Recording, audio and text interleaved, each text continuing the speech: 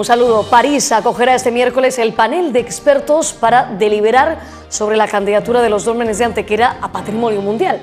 Se trata de un punto muy importante en la candidatura de los dólmenes que puede determinar hasta el 90% de la declaración de Patrimonio Mundial.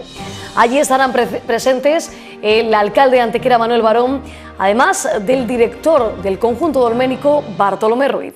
Ampliamos el resto de información del día en titulares. El Partido Popular incide en que 11.000 personas se podrían ver afectadas en los centros especiales de empleo por la deuda que mantiene la Junta de Andalucía.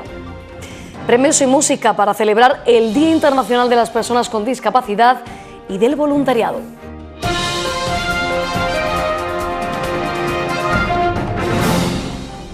La decisión de la UNESCO para declarar a los dólmenes de Antequera Patrimonio Mundial está a la vuelta de la esquina.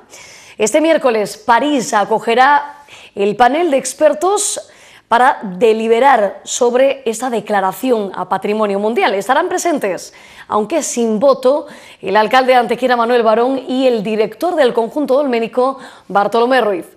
El Consejo Internacional de los Monumentos y los Sitios, ICOMOS, órgano consultivo de la UNESCO, llevará a cabo mañana en París el panel de expertos sobre la candidatura del sitio de los dólmenes de Antequera a Patrimonio Mundial. Se trata de un panel formado por cinco expertos, incluida la arqueóloga Margaret Gowen, que en septiembre visitó Antequera para conocer de primera mano la singularidad del sitio. En dicha reunión participará el Reino de España con voz pero sin voto, un panel en el que está estarán presentes tres personas, un alto funcionario del Ministerio de Cultura, un responsable en materia de patrimonio histórico de la Junta de Andalucía y el director del conjunto dolménico, Bartolomé Ruiz.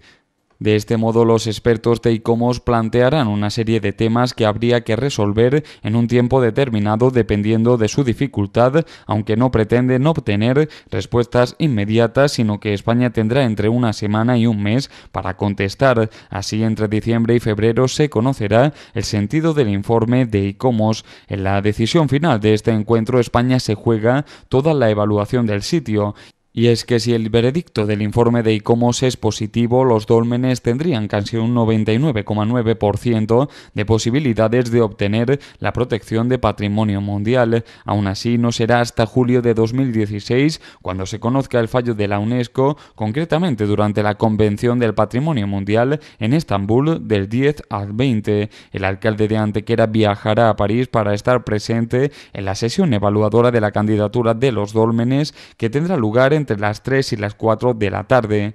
El regidor ha señalado que esperan que toda la visita que hizo la comisaria en el pasado mes de septiembre, toda la documentación que se le ha mandado y todo el conocimiento que tiene ella y el resto de miembros sean lo suficientemente importantes y que califiquen, dice, ese valor excepcional universal de los dólmenes para ser candidatos definitivos a patrimonio mundial.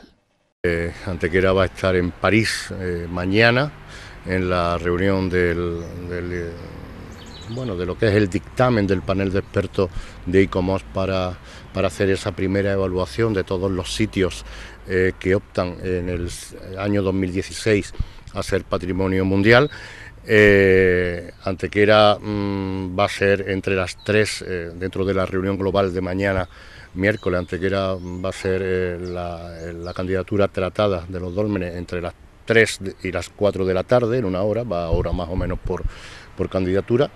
Y bueno, esperamos que, que toda la visita que hizo la comisaria en el pasado mes de septiembre, toda la documentación que se le ha mandado y todo el conocimiento que tiene tanto la comisaria como la inspectora como el resto de miembros, pues sea lo suficientemente importante y que eh, otorguen y califiquen ese valor excepcional, universal de lo que es los dólmenes eh, para poder ser candidata definitiva a Patrimonio Mundial. ¿no? Precampaña electoral a punto de comenzar la campaña del 20 de, de las elecciones generales. La candidata número uno al Senado por Málaga del Partido Popular, Ángeles Muñoz, ha asegurado que 11.000 personas están en riesgo de perder su trabajo por la deuda que mantiene la Junta de Andalucía con los centros especiales de empleo.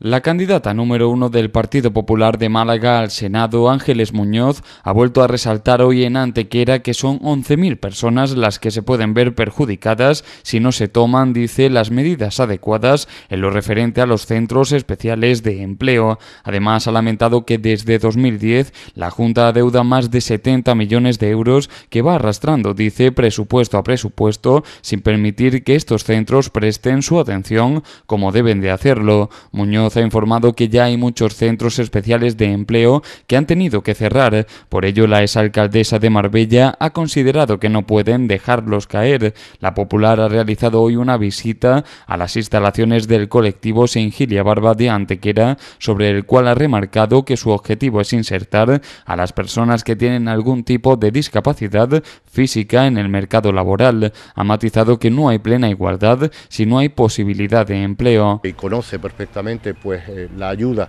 eh, que el Ayuntamiento de Antequera y la colaboración que presta con, bueno, con la asistencia que nos ofrece Sigilia Barba en la regulación de la zona azul, del, aparcamiento regulado y también en diversas zonas por la actuación en labores de jardinería que el Ayuntamiento de Antequera le tiene, le tiene encomendada y de nuestra apuesta y de nuestro compromiso tanto en el Ayuntamiento de Antequera como en el Ayuntamiento de Marbella con, cuando, cuando Ángel era alcaldesa, como del propio Grupo eh, Popular en el Parlamento de Andalucía, que el pasado día 19 de noviembre pues fue el, grupo que capitaneó y encabezó la proposición no de ley para que la Junta de Andalucía cumpliera con los compromisos que tiene atrasados eh, con los centros especiales de empleo y que mm, pueden poner, de hecho, si no llegan a ser los mismos centros especiales de empleo, los que inicien la, marcha desde Antequera, marcha reivindicativa, y el Grupo Popular en el Parlamento de Andalucía, los que encabecen esa solicitud de, consideración y de, pago de las deudas que tienen contraídas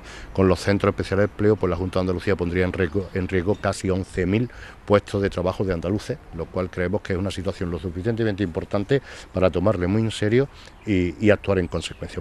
La candidata al Senado ha indicado que el próximo 3 de diciembre se celebra el Día Internacional de las Personas con Discapacidad y habrá muchos dirigentes, dice, que hablarán de las oportunidades para que las personas discapacitadas tengan una vida plena, para más tarde sentenciar que si no le dan la oportunidad de que tengan un puesto de trabajo, lo cual dice no se puede lograr sin iniciativas de tipo fiscal y sin personas que les integren en ese tipo de tareas, difícilmente, dice, se va a conseguir.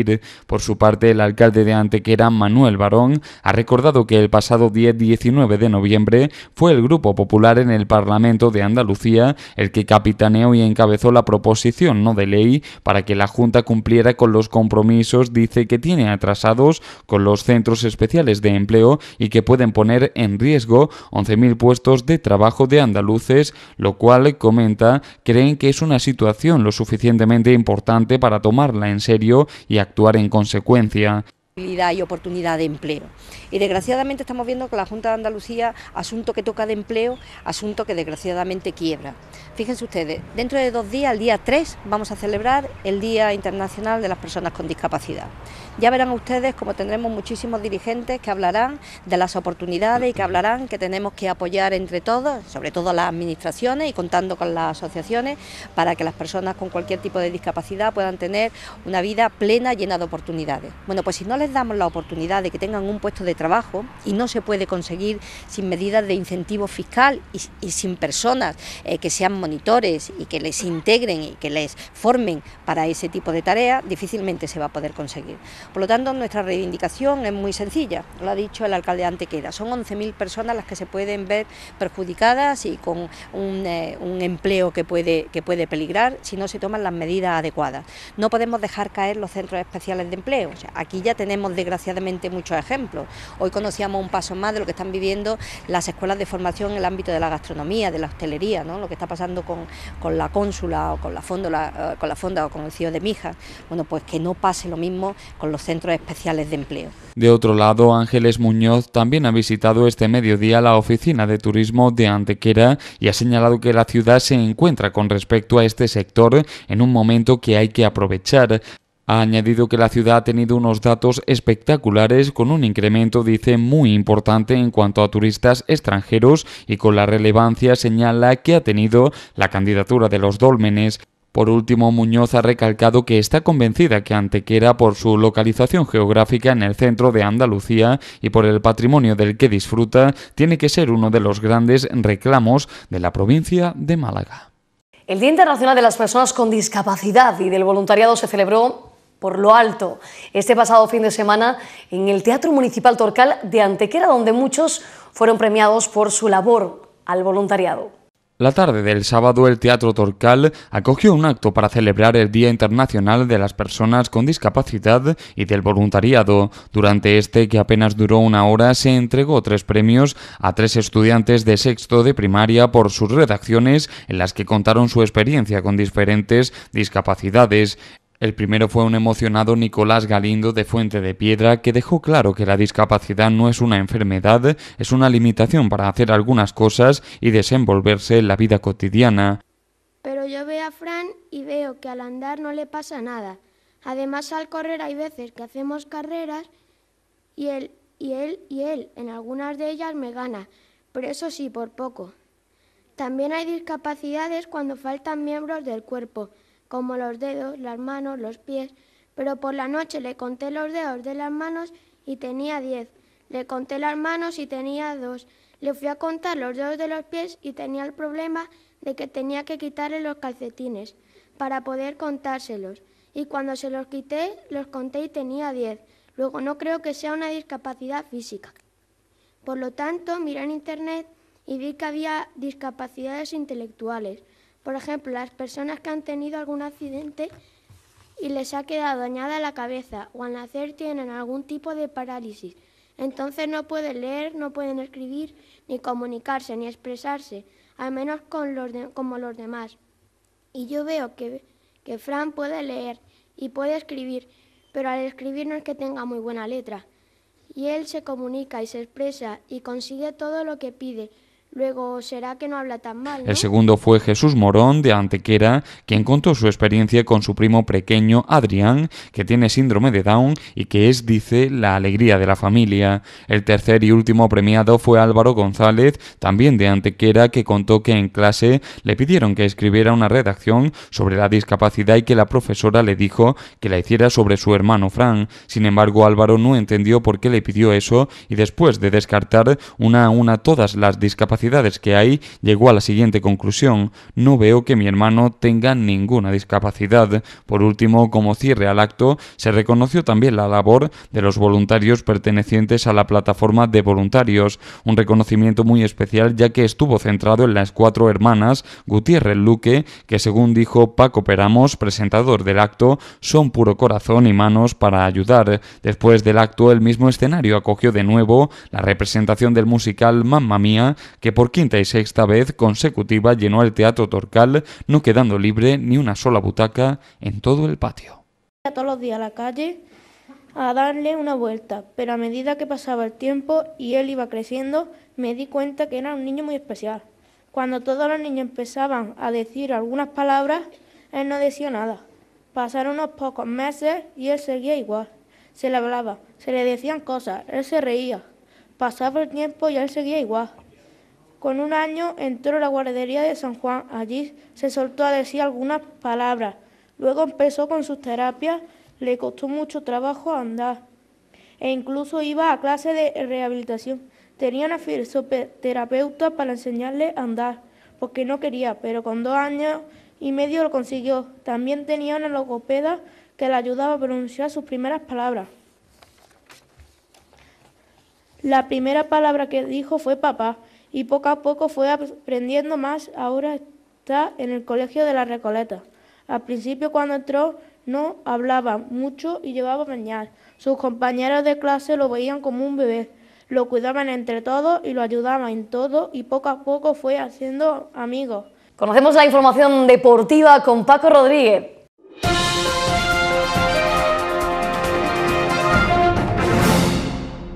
Buenas noches, Rocío. De nuevo en esta jornada del martes llega nuestro tiempo asignado a la información deportiva y hoy casi pues de manera monográfica lo vamos a dedicar al balonmano y a ese nuevo importante éxito conseguido por los hombres de Quino Soler. El sábado en el Fernando Argüelles, en el que el conjunto del Meridiano Antequera se impuso, eso sí, con dificultad, porque no puede ser de otra manera cuando hablamos de un equipo evidentemente con, con limitaciones, pero que la suple y de qué forma, con esa entereza, con esa garra, dedicación, esfuerzo y como viene siendo prácticamente desde el principio de temporada. El Meridiano Balonmano Tequera se imponía 28-24 después de un primer tiempo con diferentes alternativas, un inicio claramente favorable a los antequeranos, donde la buena ejecución defensiva impedía pues el materializar eh, bueno, pues un número prudente de goles por parte de su rival, pero después, eh, cuando se doblaba en el marcador a los vigueses, 8-4,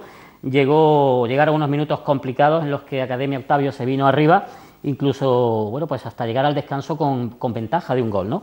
En la segunda mitad, y después de un principio también eh, complicado, en el que los antequeranos no encontraban su mejor ubicación en la cancha, llegaron a ponerse incluso abajo en el marcador 13-16, pero ahí de nuevo emerge la figura de ese colectivo que no da absolutamente nada por perdido y como ya hemos tenido oportunidad de verlo, sobre todo lejos de Antequera, en canchas como la de Gijón, como la de Barcelona, pues echaron el resto y terminaron por vencer por ese resultado eh, que demuestra cierta comodidad, 28-24, pero que en absoluto fue así a tenor de cómo se desarrollaron los 60 minutos de partido.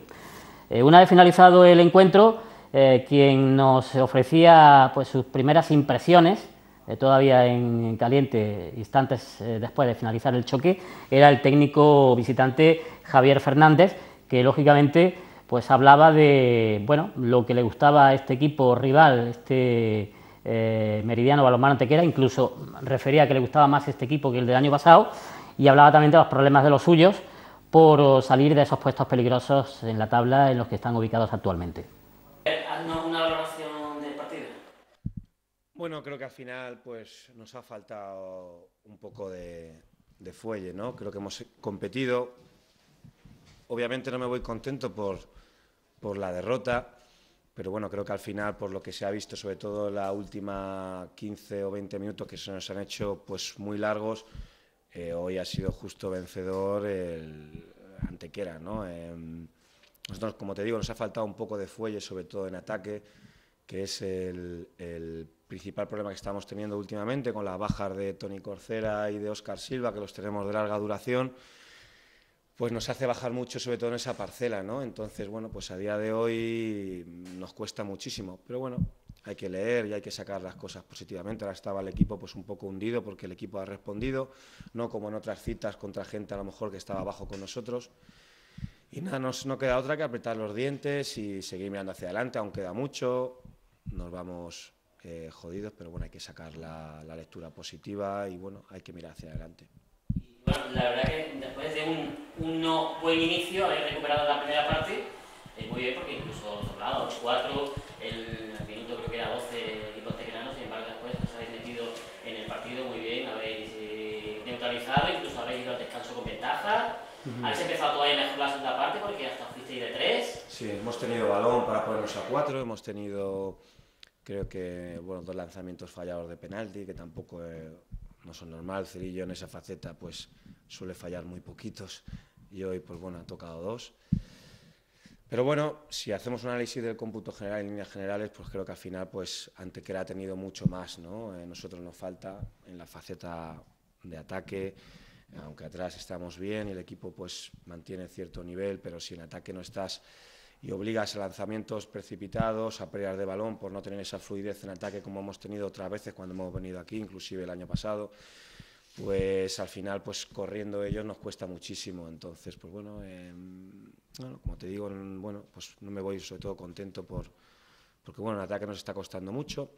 Pero bueno, mirando el, futuro, dentro de poco, pues a ver si en una o dos jornadas podemos recuperar a, a Oscar, que es un jugador que nos da mucho, nos sube mucho nivel, sobre todo en la faceta de ataque y podemos seguir estando ahí en la pelea, ¿no? Sí, porque se nos hace raro y desagradable ver a un equipo del historial de la tradición de Octavio ahí. Bueno, pero esto es el, es el, deporte, ¿no? El año pasado veníamos en otra dinámica completamente diferente, no tuvimos lesiones prácticamente todo el año y este año pues parece que, que tenemos todas, ¿no? O sea, quizá que hubiera sido mejor que se hubieran repartido un poco, ¿no? El año pasado unas pocas y este año otras, pero no todas este año. Entonces, bueno, pues es que es así, ¿no? Es que el deporte es así y muchas veces pues no sabes por de qué lado va a caer la moneda, sobre todo en el tema de lesiones y demás. Nosotros tenemos una plantilla muy, muy joven, una plantilla que, que, que, si, pues, como te digo, faltan dos o tres jugadores importantes, pues lo notamos. Y bueno, pues nada, a mirar con optimismo, intentar pues ya desde la semana intentar preparar el partido en Palma el domingo para ser lo más competitivo posible y bueno, va a ser complicado sí, pero imposible no hay nada. Bien, los he visto bien, creo que están jugando muy bien, me gusta mucho más que, el año pasado en cuanto a cómo juegan, la fluidez que tienen en ataque. Quizá que no han tenido pues, bueno, esa fluidez, también creo que gracias a nosotros, a nuestra defensa y que no han tenido esa constancia, hemos neutralizado bien a jugadores que venían haciendo muy buenos partidos, caso de, Tello y bueno, también en cierto modo ha habido muchos cambios también con Adrián en el centro y demás. Eh, pero bueno, ellos al final pues tienen ese puntito más de siendo un equipo joven de veteranía o de, o de, armario, por así decirlo.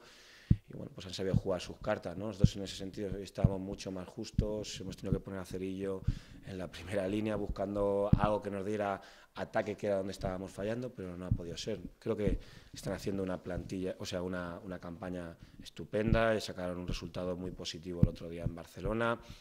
Eh, salvo a lo mejor quizá creo que el partido que perdieron aquí contra La Roca, creo que fue, si no, no me recuerdo mal, La Roca, están sacando puntos en pistas complicadas muy bien, ¿no? aún queda mucho, pero bueno, con este viento a favor, ahora hay que aprovecharlo, ¿no? que están en buena racha y nosotros intentar romper esta mala racha cuanto antes.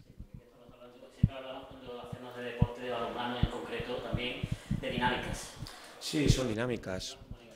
Sí, quizá que muchas veces pues se habla del, calendario y al final el calendario también es muy importante a la hora de que te metas antes o no en la liga, de tener un, calendario a lo mejor en que empiezas a puntuar, ya el equipo se refuerza mucho antes, caso que le ha pasado Antequera o nos pasó a nosotros mismos el año pasado. Nosotros hemos empezado muy tarde en esa faceta y sobre todo con el perfil de jugadores ahora, inclusive yo que soy entrenador, que llevo este mi segunda temporada, pues quizá que, pagamos un poco el, tema de esa ansiedad de, no haber empezado antes, ¿no? Entonces, como te digo, claro que son dinámicas. Nosotros, pues bueno, estamos intentando puntuar en casa, en fuera de casa no estamos siendo competitivos, pero bueno, las dos últimas salidas por Dils aquí creo que el equipo ha dado la cara, hemos tenido opciones de, de puntuar, no ha podido ser, pues nada, a trabajar para que el próximo partido sacar los puntos pasa por recuperar a la gente que ahora está fuera por motivos de lesión, porque tal como está el balonmano, las economías de los clubes y demás, y bueno, la filosofía también de Octavio, con la cantidad de es complicado buscar otros recursos o argumentos. Bueno, nosotros estamos buscando esa faceta, alguien que nos refuerce, me consta por parte del club, eh, de cara a la segunda vuelta, pero bueno, eh, necesitamos puntos ya, porque si no la segunda vuelta al final, aunque venga gente y nos pueda ayudar, eh, se puede hacer muy cuesta arriba y tienes que ir a una segunda vuelta pues prácticamente brillante pues para, para, no descender. Está claro que es una situación pues que no me gusta, que, que, no están saliendo las cosas como pensábamos.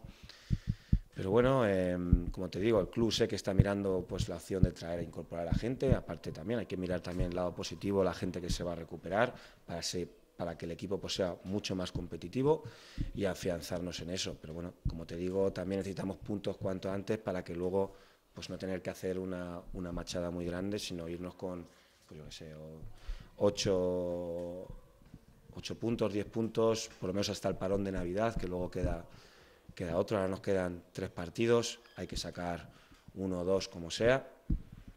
Y luego pues el primero de Navidad después de Navidad, que sacó vendas en casa también, pues para irnos con 10 puntos, la 8 o 10 puntos la primera vuelta, al fin de la primera vuelta, para tener opciones claras de permanencia.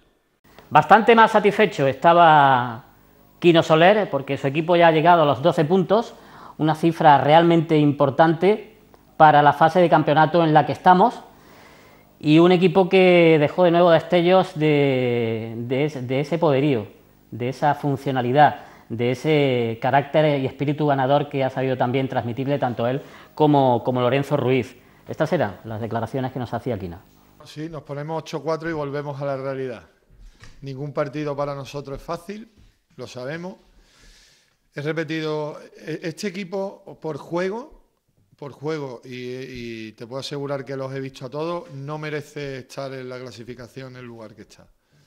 No lo merece. Es un equipo que está bien trabajado, que hace un buen balonmano y que está falto de esa pizquita de suerte para sacar un resultado positivo y cambiar esa dinámica que tienen ellos. Pero es que nosotros tampoco lo hemos dejado. Evidentemente hemos tenido un apagón en la segunda parte eh, del minuto 18 al minuto 30, pero aún así hemos salido adelante, eh, hemos minimizado ese posible daño y hemos llegado al descanso perdiendo de uno. A partir de aquí la segunda parte ha sido mucho más intensa, nos han metido 10 goles y hemos estado espectacular, ¿no? El equipo ha estado espectacular.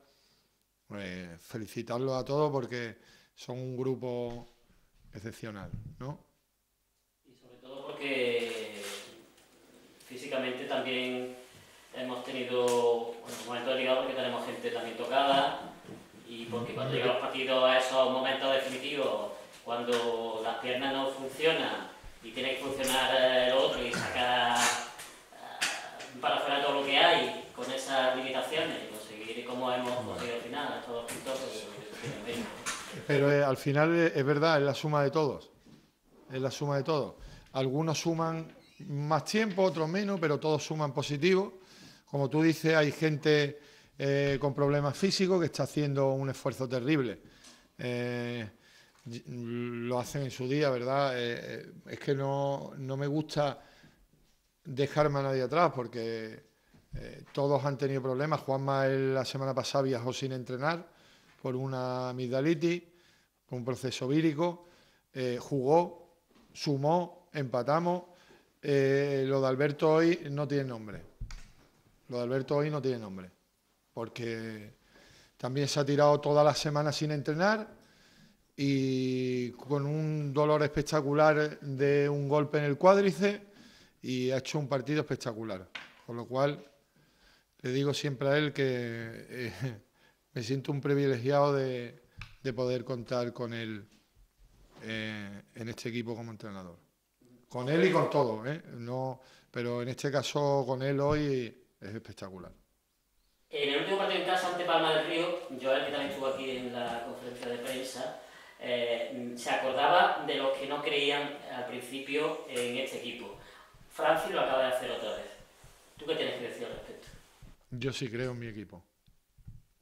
Hemos creído de primera hora, se lo he dicho a ellos, no es una pose, hemos creído des- desde el minuto cero que empezamos la pretemporada.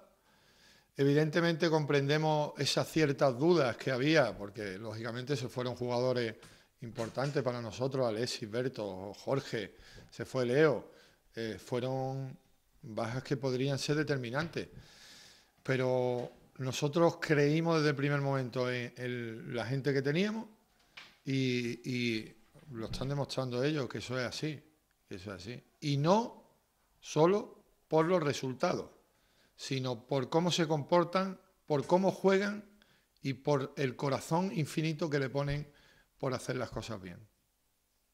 Por eso, porque hoy volvía otra vez a perder un partido muy complicado, no se puso en Barcelona, no se puso en Gijón, no se ha puesto tanto y tantos partidos, y cuando eh, quizás lo más fácil hubiese sido casi arrojar la toalla, porque en otra, en otra oportunidad, en otro año, el, el equipo casi había decidido ya no seguir peleando porque no podía entre las cosas, pero este año estaba viendo como, como, como que no, ¿no? momentos muy complicados ya con el partido muy avanzado, con esas limitaciones físicas a las que nos referimos, hoy mismo el equipo ha tenido restos para venirse arriba y para ganar al final, como ha ganado. Y jugando bien, jugando bien, una segunda parte donde ha habido eh, momentos muy, muy buenos. Eh, ese, esa fe te hace que tienes la oportunidad de empatar tres, cuatro veces, no lo logras, pero sigue, sigue, sigue y lo consigues. Muchas veces eso psicológicamente es una losa, pero afortunadamente hoy no. Y lo han conseguido jugando bien, y lo han conseguido con la ayuda de la gente que yo creo que está feliz de ver lo que hace su equipo más allá del resultado. Lo vuelvo a repetir. Ojalá siempre que nos veamos aquí sea con un resultado positivo, pero lo que es seguro es que siempre nos vamos a ver con la actitud y con la entrega que tienen. Si hablabas de efecto Quino Soler, ¿estamos hablando con propiedad? No sé bien bien eso.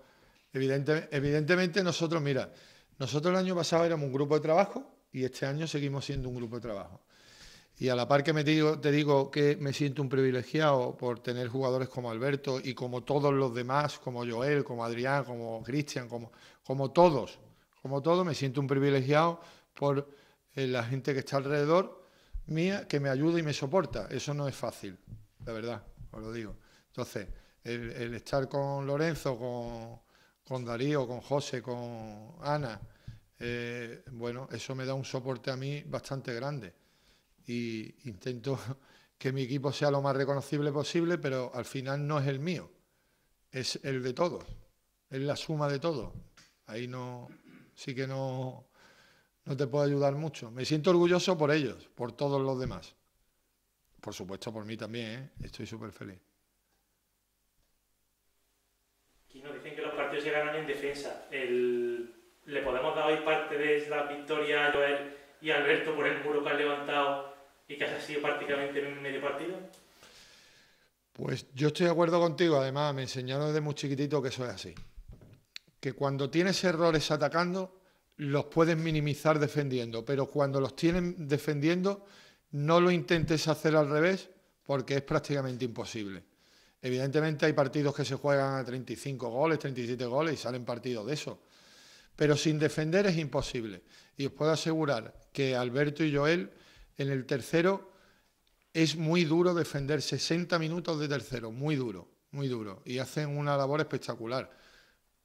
Todos también, ¿eh? Los segundos, Juanma, Cristóbal, Alex, eh, Luis, todos los extremos hoy han estado muy bien. Ellos venían un equipo que ha metido muchísimos goles de extremo y prácticamente no han tirado ni una vez. Todos los que han estado defendiendo el extremo lo han hecho muy bien. Con lo cual, y Mai ha estado muy bien también, ¿no? Con lo cual es mérito de todos, pero el tercero me van a permitir que sí, que diga que es un sitio bastante duro a la hora de defender. Otro que volvía esta semana a comparecer, finalizado el encuentro, era el jugador eh, cubano Joel Moreno, todo un valladar en la defensa antequerana y que también, bueno, pues casi eh, llegaba al final del partido con severas molestias, incluso con hielo aplicado, en una de sus piernas llegaba a sala de prensa, pero francamente satisfecho por ese nuevo triunfo obtenido por los suyos. La victoria, Hombre, por primera vez, como dije cuando llegué, ¿no? Primera vez con victoria aquí en rueda de prensa. Y contento. Más no puedo pedir, contento. Sido un partido que en un principio parecía más cómodo de como al final ha ido transcurriendo durante buena parte de él. Bueno, sin, sin quitar tampoco el mérito del equipo de Octavio, ¿no? Que es un equipo joven y sabe, sabe jugar con lo, con lo que tiene. Sabe jugar con lo que tiene. Es un equipo muy parecidos de nosotros porque son muy guerreros. Son muy guerreros, un equipo que sabe lo que hace. ¿Qué nos ha pasado? Después de un buen comienzo, nos fuimos 8-4 y sin embargo un exceso de confianza quizás cuando conseguimos esa diferencia en el marcador. Parecía que la cosa iba a ser más fácil. ¿Cómo dentro de la cancha lo puedes...? Bueno, pienso que, que no, no, no es que no hayamos confiado, ¿no? Porque confiados nunca estamos. Pero que ellos salieron a jugar un poco mejor, jugaron mejor que nosotros esos minutos y fue lo que, lo, que los llevó a llevando por arriba el 14-13. Que sabíamos que, podía pasar porque es un equipo que ha venido, ha venido a eso, ha venido a, a buscar dos puntos.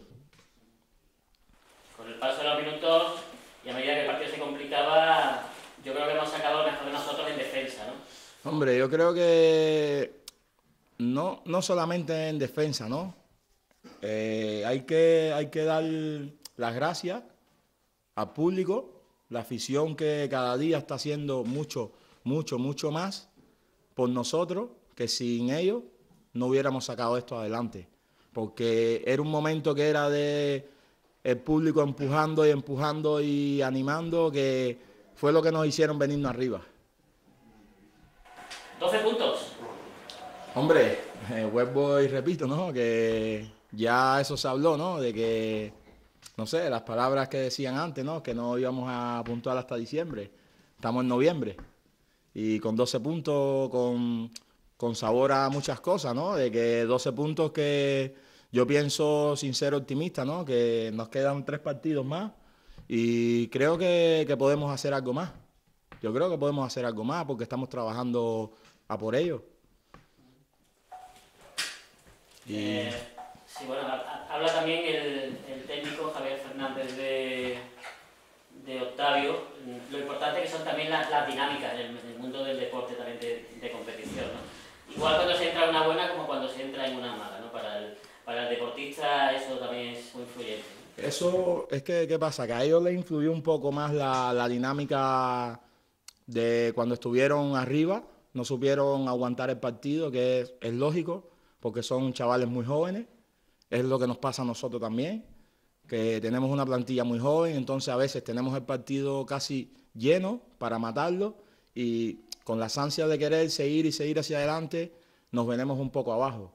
Que en esto lo que tenemos que hacer es eso, aguantar un poco el partido para ver qué es el resultado. Que hasta, hasta el minuto 60 no se sabe quién gana, quién pierde. Y esto es así, el deporte es así, uno tiene que ganar, el otro tiene que perder. Y no sé, esta es la tercera vez que vengo aquí y la primera vez que vengo con victoria y más contento no puedo estar. Más contento no puedo estar. ¿Y cómo te sientes con Castro al lado en, defensa? Os, compenetráis perfectamente, ¿no? Es que estamos entrenando a diario, es lo que da el trabajo. Eh, no está, a veces no está Castro, está Cristóbal, está Juanma y lo que importa es la, la entrega. Hoy Alberto Castro hay que hablar que ha hecho un excelente partido, tanto en ataque como en defensa, que tiene un, bocadillo en la, pierna izquierda y así, sin entrenar la semana entera, ha, jugado los 60 minutos. Y hemos aguantado a más no poder. Que eso es muy meritorio. Que hemos tenido también eh, otras personas que también están tocadas también y así hemos, hemos, hemos tratado de, de, seguir hacia adelante, porque tenemos un equipo que no es que, esté yo, que, o que esté Alberto, que esté Francis, que esté Adri, que esté, bueno, a no seguir enumerando nombres, somos, somos una piña, somos una piña. No estoy yo y, y el, barco, el barco va a seguir hacia adelante. Porque eso es lo que hacemos, tenemos un equipo que es lo que, el trabajo que se está viendo es este. No tenemos un líder, el líder es la afición que son los que nos empujan a nosotros hacia hacer por más. Que sin ellos no sabíamos qué, hubiera pasado. Con esta afición, si hubieran estado ahí en Barcelona, hubiéramos ganado de 10. Eh, la familia de Lorenzo, la familia de Ale y dos más, eran los que nos estaban gritando y hemos empatado en Barcelona. Así que, otra vez lo digo, un placer eh, público que tenemos y los exhorto a que sigan viniendo, a seguir apoyándonos, que nosotros por lo menos para, perder los partidos lo vamos a perder siempre guerreándolos a muerte y hay que hacerlo todo por, por salir adelante. Y es lo que hay. Tampoco podía disimular esa satisfacción el extremo antequerano Francis Morales, que fue una de las piezas también importantes en la victoria de los antequeranos ante el conjunto de la Academia Octavio. Un total de cinco goles. Francis también terminaba con problemas físicos pero sobre todo muy satisfecho y contento de cómo se había desarrollado el partido. Sí, la necesitábamos por, el equipo, porque la gente, como ya ha dicho Joel, no nos ponía como estamos ahora mismo con 12 puntos y sobre todo más bien para callar boca de gente que no, de que no ha querido de que estuviéramos como estábamos ahora y muy contento, la verdad. ¿Vosotros creíais que a esta altura de campeonato ibais a estar donde estáis? La verdad que no pensamos ni, ni si queremos acabar la primera vuelta como el año pasado con 13 puntos, ni nada de eso, sino partido a partido en los que todo este año se puede luchar y competir con este equipo que tenemos y vamos partido a partido. Por suerte llevamos 12 puntos, quedan tres encuentros en los que los vamos a pelear, sin duda alguna, aunque estamos con mucha gente tocada, pero al final se deja la vida por el equipo y yo creo que sí, que podemos acabar con unos pocos más. El partido ha sido trabajado, ha sido, ha sido trabado por momentos, laborioso la victoria, su partido a nivel individual ha sido realmente bueno hasta que has tenido que abandonar la cancha? ¿Qué te pasó? Pues la verdad, bien, teníamos muchas ganas. Yo al final abandonado porque es que no podía llamar. Yo creo que también, como estoy de entrenador con los peques, desde las 8 de la mañana en Málaga hasta las 3 que he llegado aquí, y el cúmulo de cosas, la semana también, el frío, y yo creo que es un cúmulo de, de todo eso. Pero vaya, si no estoy yo, está otro y así ha sido. Pues ahí quedaba ese monográfico que le hemos dedicado hoy, jornada del martes, a repasar esa nueva jornada de la División de Honor Plata de Balonmano, en la que el Club Balonmano Antequera se sitúa en el ecuador de la tabla con 12 puntos, pero lo más importante, deja ya prácticamente a 7-8 puntos eh, los puestos de descenso. Y eso, al momento de competición en el que estamos, ya es desde luego un hecho más que significativo y resaltable. Nosotros nos marchamos, les dejamos con nuestra programación habitual y volveremos mañana miércoles con más información deportiva. Buenas noches.